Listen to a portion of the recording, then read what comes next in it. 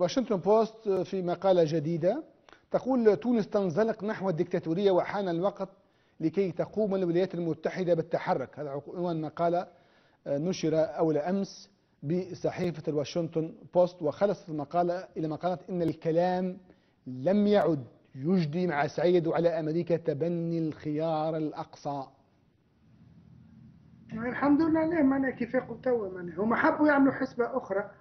في بالهم سعيد ينجم يحقق لهم حاجة معناها هو ينجم يحل مشاكل البلاد أو لكن هذا ما مش ممكن معناه يعني أنا لا أثق في المواقف لا الأمريكية ولا الأوروبية. الحلول تكون وطنية بكل بساطة. هؤلاء إن ساندوا الحق فيا مرحبا ولكن مساندتهم لن تكون هي الفاعلة لن تكون هي شرط تحقيق الهدف. هذا لا سبيل إليه. لا تقول لي منظمات دولية ولا غيره. في الدنيا هذه أخي باش نولوا قضيتنا إحنا. معناها أكثر حق من قضية مصر وما حدث في مصر عن طريق السيسي هم تعاملوا معه. بل هم الذين نظموا الانقلاب. وما تقوليش تغيير رئيس وما تغيير رئيس في أمريكا أو في أوروبا أو غيرها لأن هناك سياسة دول وهناك مراكز دراسات هي التي تحدد يعني الخيارات نعم. والمكتب البيضاوي معناه يناقش كل الخيارات مساندة المجرمين مجرمي الحرب في بلدانهم أو مساندة الديمقراطية وتحكم ما يحكم هو المصالح ولكن من جهة أخرى ما يحدث اليوم في تونس من أوضاع تدفع إليها سياسة قيس سعيد يجعل حتى هؤلاء الباحثين عن مصالحهم يعني لأنه شيء كما نقولوا إحنا بالتونسي شيء نطق الحجر معناها. يعني اللي تفرجوا فيه راهو سريالية راهو ما صارش في العالم معناها.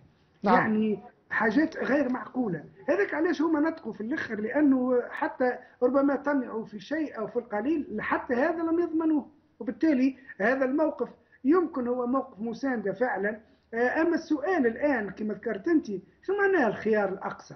الأقصى هو منع الإعانات أنا كنت نتمنى الانقلاب سيكون متضرر الشعب مباشرة الشعب يا أخوي يتحمل مسؤوليته لا أحد يتكلم باسم الشعب. الشعب سينتفض تهنى نهار اللي تتكبس عليه الوضعية سينتفض ويرد الفعل. انتفاضه مش يكون سياسي وبالعكس الانتفاض المرة هذه سيكون خطير جدا.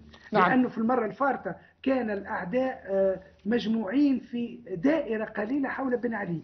الآن أصبحت الدائرة أوسع وأصبح هناك انقسام مجتمعي أفقي وعمودي وأفقي وبالتالي هذا الانشطار يهدد بمواجهات و بعبثية نعم. يعني لا مثيل لها كنا نتمنى أنه نعم. حتى كي باش يقع تغيير سامحني يقع بفعل برامج أحزاب اتفاق أحزاب وغيرها لكن تبين أن الأنانيات السياسية وخاصة الأنانيات الإيديولوجية هي أولى في نظر ما يسمى بمثقفين للأسف الله غالب.